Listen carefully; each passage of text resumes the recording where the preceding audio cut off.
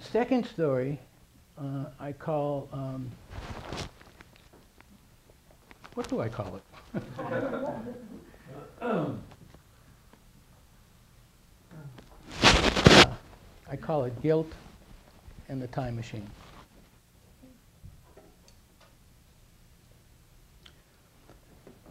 Artie had just turned 16. And he had been doing some work for his dad lately.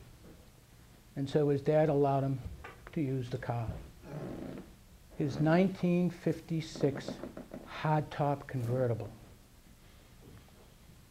God, 16, Chuck Berry on the radio, full blast, singing Sweet Little 16. Some friends in the car, windows rolled down, sleeves rolled up. Before he knew the word cool, he felt cool, Artie did. And his friend Dan was coming down the other way, and he rolled down his windows. And they could barely hear each other because they both had the radio blasting at Chuck Berry.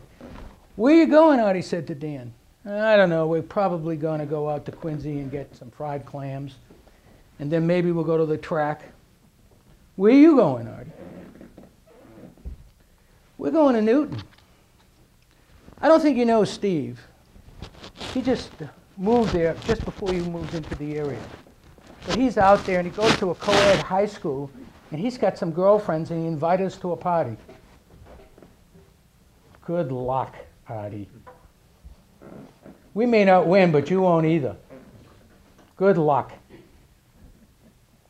Thanks a lot.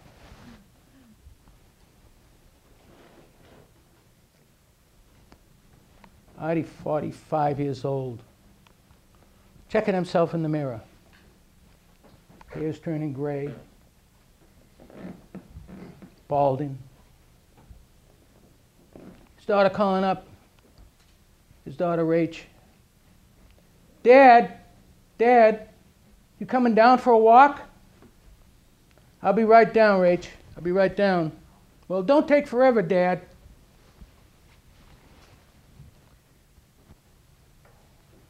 How's school, Rach? Dad, how would you like it if I said, How's business? I get it.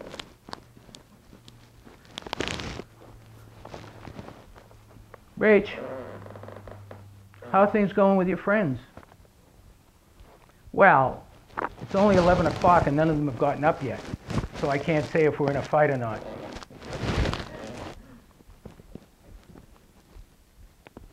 How things going with you, Dad? Okay, can't complain. You know, Dad, I was over Grandma's house the other day, and she asked me what I was going to do when I got out of school, what I was planning for college. And I said, I'm not sure yet. And she looked at me and she said, When I was your age, Rachel, I knew from what's what. Dad, do you know from what's what?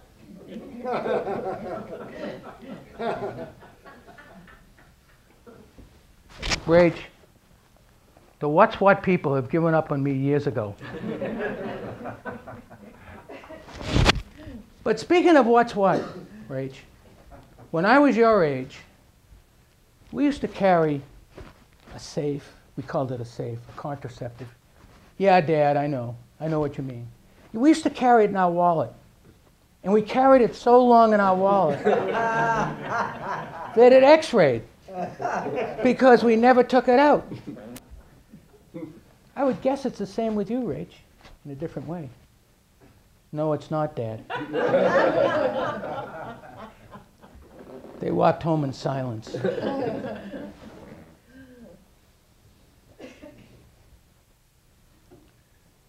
Artie was in the back seat of his dad's car, sitting with his father. His brother was up front with his best friend Tony. And they were talking about an almost skirmish. They had been on uh, a local street, and the car was coming down, and they were going up, and neither car wanted to give away and give way, and there was going to be a big fight, you know, big riot. Nothing ever happened, but they were still talking about it like it was so cool. And Artie's father turned to Artie and said, Where are your friends today? How come you're out with us? What are they out gambling as usual? How come they never go out with girls? What's going to become of them and what's going to become of you? Before Artie could answer, he said, I'll tell you, nothing. That's what's going to become of all of you. You're all a bunch of bums. Thanks, Dad. I needed that support. Now I'll go out with a lot of confidence. We need more rides like this, Dad. Artie went up the steps where Beth, his wife of 18 years, greeted him and said, What did you and Rach talk about? I told her um, that interest rates were going up and that we might have a hard time paying for her tuition. You told her what? I'm only kidding. If I said interest rates, she would think I said interest dates. Believe me, she wouldn't hear. Mostly we talked about from knowing what's what. Do you know what's what?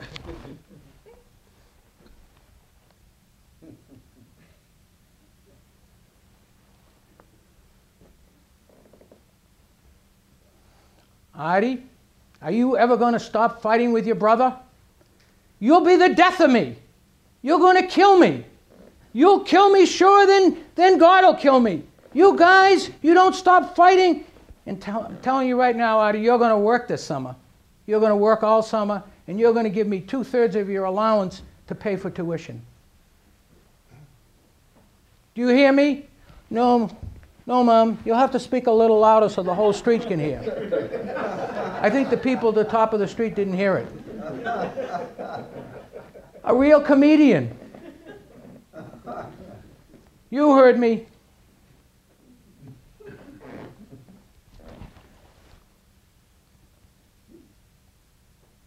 Artie said to Rach, I'm really glad you're home from school. I could really help, use your help in the office work is piling up on me, and if you can help me clean up a few things, it could really, really help me out. Well, Dad, I'm only home for a few days. And my sociology teacher said that I must make friends with my old friends because this is a real learning experience. So, since I'll be studying really off school, I really can't help you, Dad. Not at all? No, I don't think so, Dad. I'd love to, but I have to be with my friends. That's what the teacher's assignment was.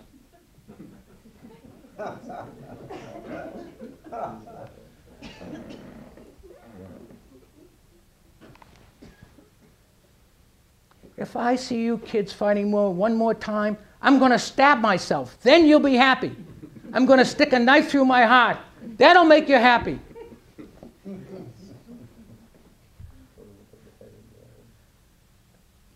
Girls, Rach, you're her older sister. It's up to you to show her the love that I know you have in your heart. That's the most important thing I can give you you've got to know that your mom and dad won't be here forever. And it's important. It's incredibly important for you to love each other. And that's what I leave you.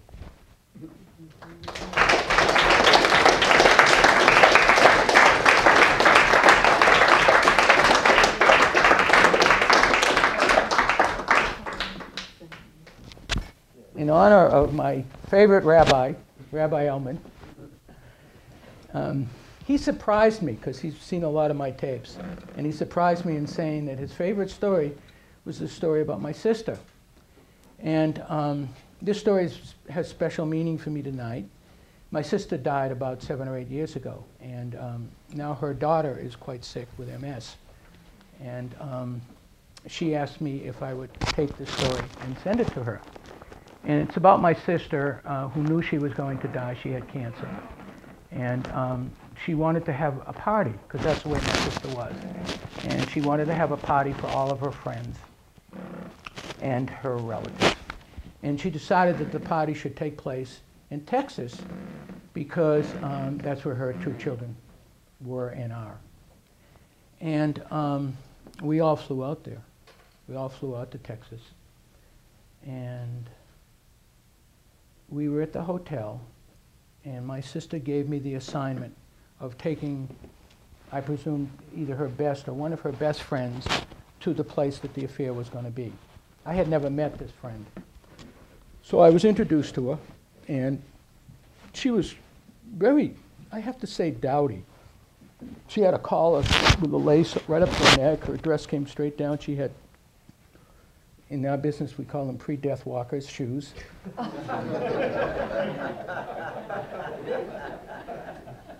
and she was, you know, very demure. And um, I was a little surprised. She probably was seven or eight years older than my sister. So we got directions to how to get to this affair. And um, we were about seven minutes from the uh, hotel when inevitably we got dreadfully lost.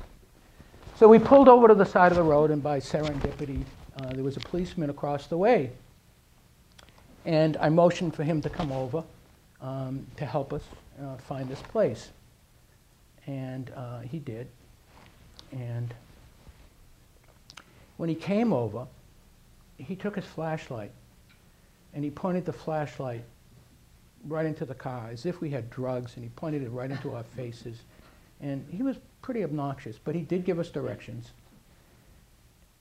And he went back to his car, and we were maybe three minutes away from him when my sister's friend, whose name um, is uh, Anda, Andy, um, I'm sorry, Mandy, Mandy Press, said, cops, they're all a bunch of fuckers.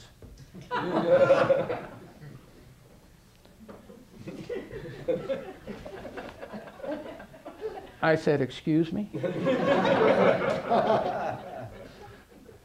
she said, You heard me. They're all a bunch of fuckers. She proceeded, she said, Would you like me to tell you how your sister and I met and became friends? Well, I said, I think you met at the Concord school system and you both worked together as teachers. She said, That's what you know. Maybe if you'd shut up for a minute, you'd learn a thing or two. That's not how we met at all. She said, Your sister was a fifth grade teacher at the school, and my daughter was in her class. And your sister gave her the assignment of, and the class, of course, of reading Prince and the Pauper. Well, of course, everybody was going to read it. Except my daughter raised her hand and said, I'm not going to read it. Well, your sister was beside herself. She was appalled. What do you mean? She said to my daughter, Jessie. You're not going to read it? How can you not read it? You have to read it. It's an assignment. She said, I don't feel like it, and I'm not going to read it. Well, your sister was beside herself. She said, I'm going to call your mother. My daughter said, Well, you just go ahead and do that. And your sister, sure enough, called me that night. Well, first of all, I hate friggin' squealers. And your sister's a squealer. Because she was going to tell on my daughter. And she began by telling me that she gave an assignment to read this book, and my daughter refused to read it. So I said, Big deal. She doesn't have to read that. There's lots of other books she can read.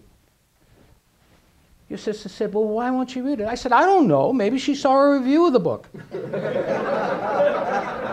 and didn't like it. Maybe she saw the movie and thought it sucked. I don't know. She doesn't want to read it. Your sister said, Would you come down to the school and talk to me? I said, I will like hell. What are we going to talk about? I already told you what I thought. That's how I met your sister on the phone. now, that fall, oh, I have to tell you that the year ended in a draw. The year ended in a draw because my daughter never read the book. But it's the first time she didn't get an A. She got a B minus. Well, that fall, as the teachers all met going into the year, the principal called them all together and announced that they had lost their librarian over the summer and they were going to have a new librarian. and her name was Mandy Press. That's me. Well, your sister almost shit a brick. she started sputtering. Mandy Press? I had her daughter. And her daughter wouldn't read an assignment. And she's going to be our librarian. She wouldn't even come down to school to meet me. Principal, Mr. Liberal, had a big sign on the door that said, ask any question. started getting, started getting red in the face. The truth was, he didn't like any questions at all. And he was about to really come down on your sister when the bell rang and saved your sister. Well, one day your sister came up. I guess she had assigned the same story. She came up to the library and she asked for the book. And I said, Why on earth would you want that book? It's not his best work. Matter of fact, it's not even good. And your sister started laughing and saying, You're right. And we both kind of, without touching, hugged each other. And we became friends. We became best friends after that.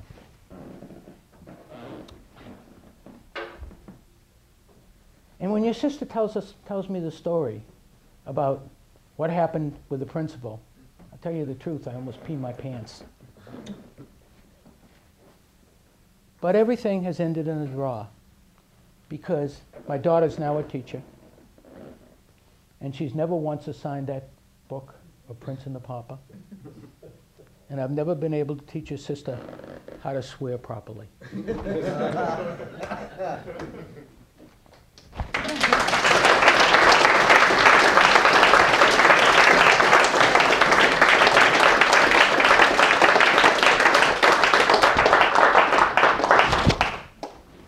My last story um, isn't really a story. It's uh, a piece I've been working on, and it's really a preview. I don't really uh, have it um, begun, I don't have it finished, and I don't have a middle. But somehow I have something to say about um, when I grew up, where I grew up, how I grew up, and the decade, and what it means to me, and what it means to all of us. Um, because it didn't mean that much to me when I was growing up. I didn't put any of the pieces together. Uh, but now I am. And um, it, it hit me the other day when I saw an article in the newspaper that said, were the good old days really the good old days? And of course, you start thinking, are the good old days yesterday? Uh, are they a week ago? Uh, or are they back in the 50s, in the decade that I grew up, the Ozzie and Harriet decade? The perfect family. I mean, they never yelled. They never had a fight. Oh, there were mishaps, and there was information that got distorted, and that was the show. Ricky sang. He was my age. He was handsome, he was tall, he was a stiff Elvis, but he sang. And they were the perfect family. And they didn't yell. My house, my mom and dad would be watching, say, the Jackie Gleason show. Art Carney would be on. My father would say something like, Boy, he's really good. He's really clever. My mother would say, Shut up, you damn fool. He's only reading a script. that was lovemaking. that was the good things they said to each other.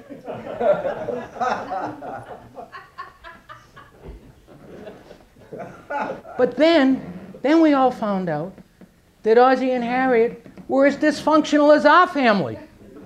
Wasn't that incredible? Ricky was free blazing on a, on a plane and went down. That was sad. That was really sad. But he was so screwed up with his dad, with all that money, all those looks, all that celebrity. And he couldn't find a life. He couldn't find a marriage. And the whole marriage thing with them was not what we saw. I love Lucy. We were pinned to the TV watching I Love Lucy. And Desi was the fall guy. They weren't allowed to say the word pregnant when she was pregnant. They weren't allowed to say that word. Desi was out screwing everything he could get his hands on. Lucy said, if I were a hater, I would hate half of the women starlets in Hollywood because Lucy, because Desi's done them all. Their kids, who actually was practically born on TV, said there were two marriages. The one he saw on TV and the madness at home. They were as dysfunctional as my family. You know, they call the 50s the silent generation. They call the 50s the nothing generation. Richard Pryor called it the great pussy drought. I can attest to that. But it wasn't. Think about it. Think what it festered and what it fostered. Think about what was coming on the screen. Think about, I can think about when Brando hit the screen and the men. I don't think you can have that kind of excitement today. I don't think it exists. Because we were coming from Perry Como. We were coming from love is a splendid thing. And then suddenly Brando with his leather jacket came on the screen. I don't think I can convey to anybody the meaning it had when they said, What are you rebelling against, kid? And he looked at them and he said, What do you got? today, today he would say, What the fuck have you got? But that was then. And it wasn't just Marlon. I mean, there was Elvis. It was sexuality finally coming out in every direction. Every direction. James Dean. And they were alienated, but they were so much to us. And the alienation, we all felt that way. Because we weren't part of Ozzie and Harriet, because we thought they were perfect. And we weren't Perry Como, because we thought he was perfect. And we weren't Dean Martin. We were just a bunch of losers with our shirts hanging out. So when they came on the screen and they were alienated, God knows we could identify with them.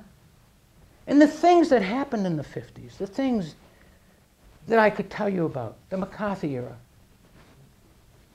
Do you know that his legacy today is as prominent as when he was alive? And I'll tell you why. Because what he did was he victimized people by calling them names, by calling them commies, by saying, you're not really patriotic. You tell me what Bush does that's any different. Is he doing anything different? The Republicans learned their lessons so well. They knew how to call names and scare Americans.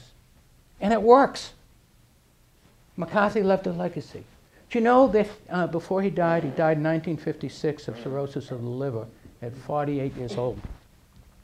He gave a speech on civil liberties. It wasn't published. Maybe three newspapers. And it's interesting. It's very interesting as to why it wasn't published. Because nobody gave a shit. But when he was calling people commies, it was meat to the press. It was a food frenzy because the people who hated McCarthy couldn't stop reading it, and the people who loved McCarthy bought papers. And it made me think, it made me think of a movie that came out uh, in that time frame. It was called Ace in the Hole, starring Kirk Douglas. And this was about a reporter who had been down on his luck. He had one time been a great reporter in New York City. And um, he started boozing and womanizing, and so his life was ruined. So all those movies had that kind of track. And he goes out to the Midwest, and this guy owns a small newspaper, decides to hire him, give him one last chance, and he doesn't have to pay him much money. So he takes him on. And there's a cave in, in a mine.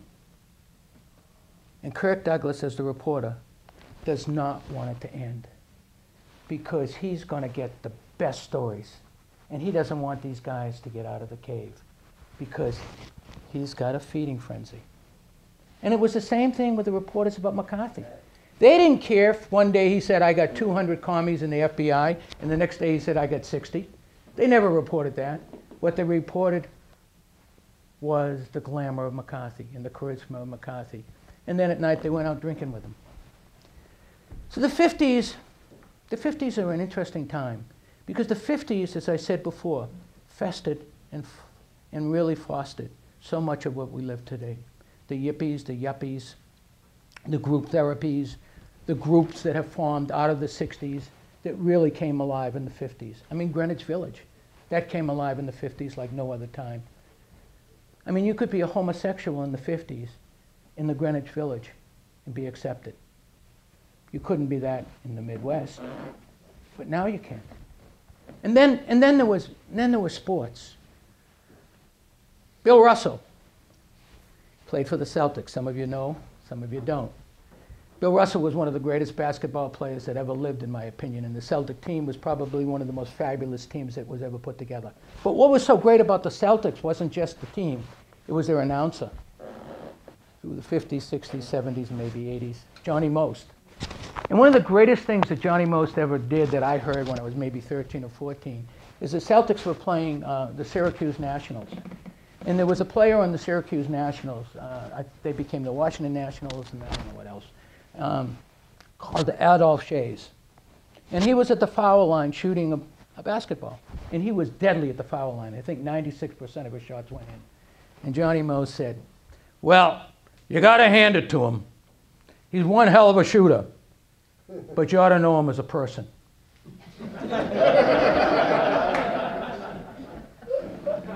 I mean, who would say that today?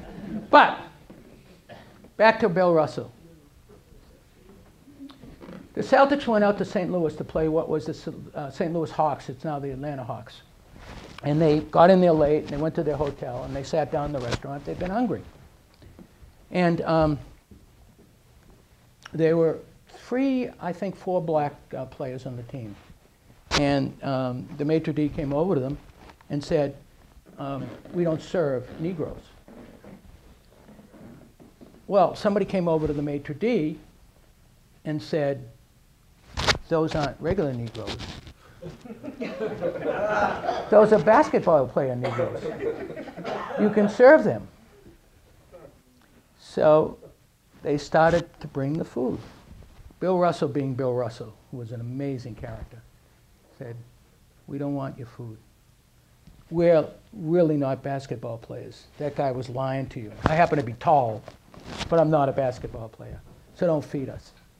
And they refused to play the St. Louis Hawks the next day and they flew home. The basketball commissioner fined them. Fined them for not showing up at the game. He didn't care about this story. Can you imagine that happening today? That's some of the things that happened in the 50s that moved and moved and moved. I've told the story about Branch Rickey and Jackie Robinson. I've told the story about Branch Rickey, whose life was threatened every day because he took the first Negro into, into baseball.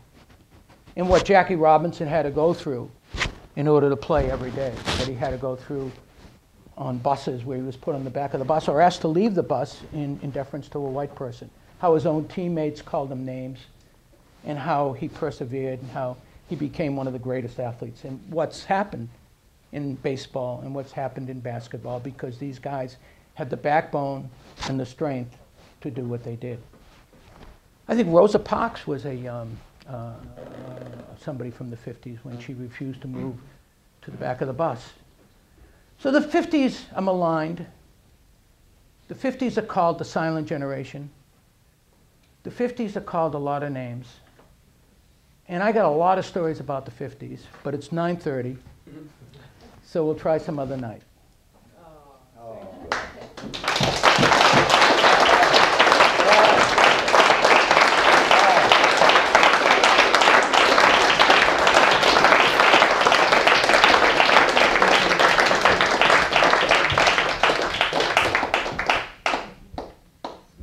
Magnificent.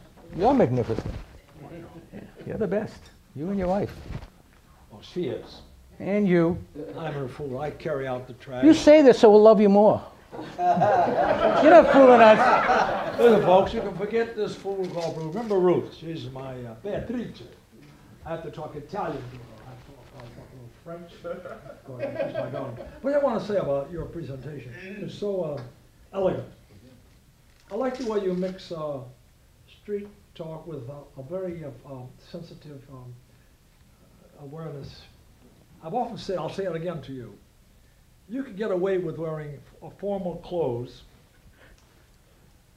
I knew he was going to talk about the way I dress. He doesn't care what I say. because, because, because, because you're elegant. And uh, I can imagine you with the Carlisle. you know, How Bobby about- shorts playing.